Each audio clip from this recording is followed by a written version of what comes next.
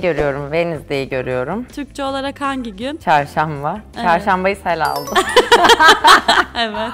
Laf yazıyor. 7 santim. Alttaki nasıl bir laf? Uzunca bir laf. Evet. Uzun lafın şeyi Uzun lafın?